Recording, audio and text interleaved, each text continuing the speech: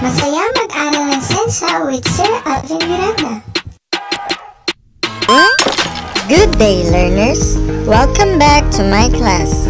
For this video, we are going to talk about how to examine and focus the specimen under the microscope.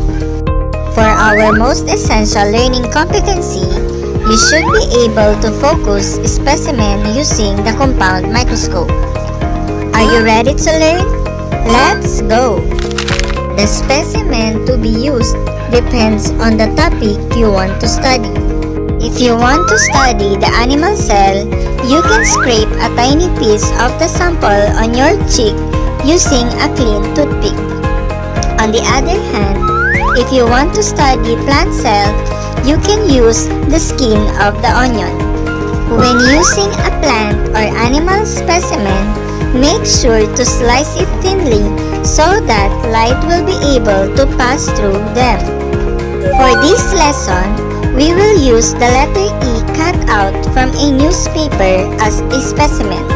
This will be our practice experiment before studying specimen from living organisms.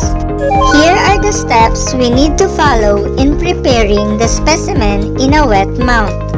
A wet mount is a glass slide holding a specimen suspended in a drop of liquid such as water for microscopic examination.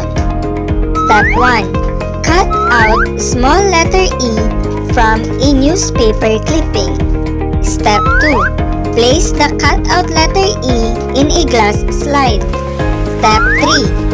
Add a drop of water using a dropper or cotton ball.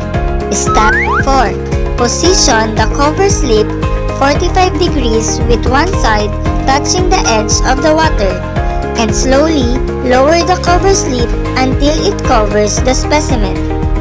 Step 5. Tap the cover slip gently by an eraser end of a pencil until the bubbles move towards the cover slip edges. After preparing the wet mount, we now proceed to viewing the specimen. A field of view is the bright circle of light under the microscope. Step 1. Place the slide on the stage. Make sure the specimen is in the center of the hole in the stage. Always start with the low power objective and always secure the slide using the stage clips. Step 2.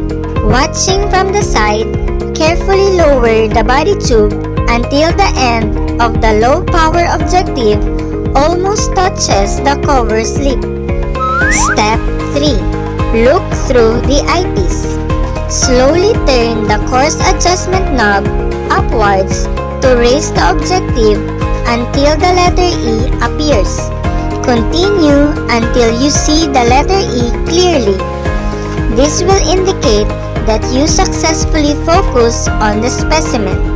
This will be the image seen under the microscope. The image seen is inverted and enlarged. Why is this so? This is because compound microscope uses more than one lens located on the eyepiece and the objectives, and also because the lenses are convex lenses. Aside from the image formed, these lenses also affect the movement of the slide. For example, if you will move the stage knob to the right, the specimen will move to the left, as seen under the microscope.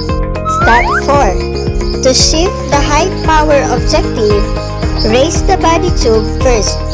Looking from side, revolving nose piece to put the high power objective in place.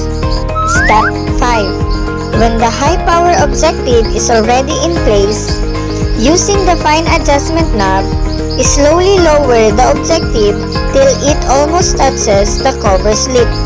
Observe the difference between the image formed in a 40 times objective versus a 100 times objective. What did you notice? The field of view gets smaller as you increases the power of the lens. You will only see a portion of the specimen when the magnification increases. Let us recall the magnifying power of the microscope.